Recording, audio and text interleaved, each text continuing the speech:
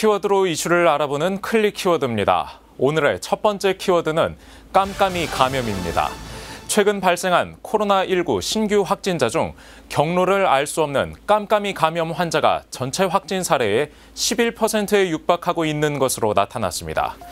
중앙방역대책본부는 최근 가진 브리핑 자리에서 근래 발생한 확진 사례를 2주 단위로 분석한 자료를 살펴본 결과 감염 경로를 알 수 없는 깜깜이 확진자가 전체 신규 확진자의 10분의 1에 달한다고 밝혔습니다.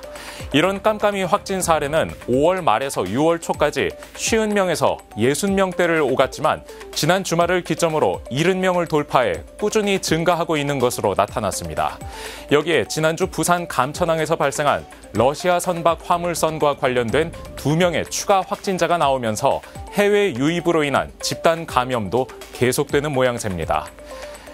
이 코로나19의 확산세가 잦아들지 않는 가운데 서울과 경기 등 수도권을 중심으로 집단 감염 사례가 잇따르고 있습니다. 사회적 거리 두기를 비롯한 생활 방역이 그 어느 때보다 중요해지고 있습니다. 두 번째 키워드는 의료기관 보상 책입니다. 코로나19로 피해를 입은 의료기관이 보상을 받을 길이 열렸습니다.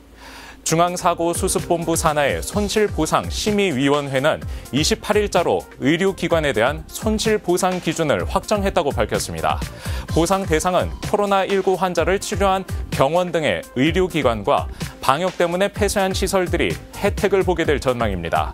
특히 코로나19 환자를 치료하면서 병상을 비우는 방식으로 현 사태에 적극적으로 대응한 병원에 대해선 장례식장과 같은 병원 부대 사업에서 발생한 손실도 보상받을 수 있습니다.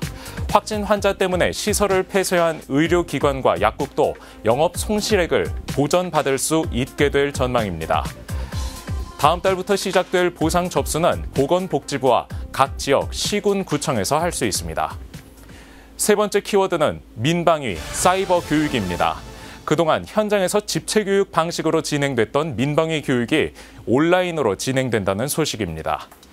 행정안전부는 코로나19 사태로 중단된 민방위 교육을 온라인상에서 진행하는 사이버 교육으로 대체하겠다고 밝혔습니다. 민방위 대상자가 컴퓨터나 스마트폰을 사용할 수 없는 경우엔 주민센터에서 별도의 교재를 수령하는 방식으로 서면 교육이 진행될 예정입니다. 이번에 민방위 사이버 교육을 받게 될 대상자는 우리 국민 340만여 명으로 추산됩니다. 민방위 훈련은 전쟁이나 자연재해처럼 국가적 재난 상황에 대비하기 위한 예방적 성격의 방위 활동입니다. 코로나19로 인한 불가피한 상황 속에서도 사회 안전망의 기본 뿌리는 지켜질 수 있어야 하겠습니다. 지금까지 클릭 키워드였습니다.